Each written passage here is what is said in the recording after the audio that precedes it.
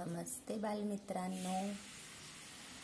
बृहमुंबई महानगरपालिका शिक्षण विभाग कदा गायकवाड उपरा तमिळ शाळा कार्यानुभव. आता आज आपण पाहणार आहोत की आपल्याला काही महत्त्वाचे प्रश्न जे आहेत त्यांची इथे दिलेली उत्तरे जी आहेत ती तुम्हाला तुमच्या वहीमध्ये नोट करायची आहेत. आणि त्यामध्ये तुम्हाला ती प्रश्न उत्तरे पाठांतरसुद्धा करायची आहेत जी तुम्हाला प्रत्येक तुमच्या सहावी ते आठवीच्या वर्गासाठी उपयोगी असणार आहेत. तर आपला पहिला प्रश्न जो आहे तो म्हणजे कार्यानुभव म्हणजे काय? कार्यानुभव इसका दूसरा नाम है work experience in English work experience work experience is taking education through participation in productive work which is done in school home workshop field factory or at any other place related to production ये हमें अपना जो government शासन है, उसमें एक commission था, जिसे कोठारी कमीशन कहते हैं, उन्होंने ये डेफिनेशन तैयार की है।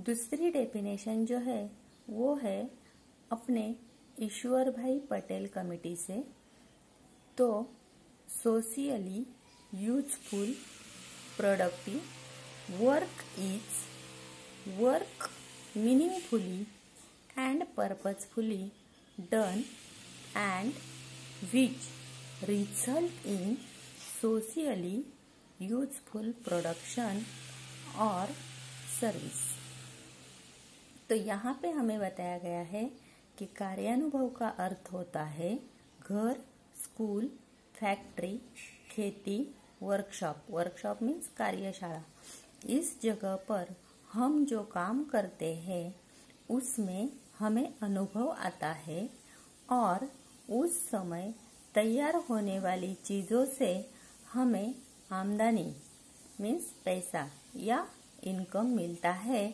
उससे कहते हैं कार्यानुभव, कार्य से मिलने वाला अनुभव.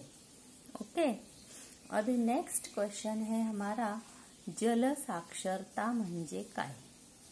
जल साक्षरता, जल मतलब पानी और साक्षरता का मतलब होता है पढ़ाई या जानकारी।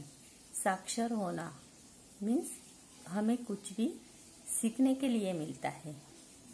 इसका इंग्लिश में है वाटर लिटरेसी वाटर लिटरेसी में भी considered sincerely as the culminations. Culminations का मतलब होता है टॉप।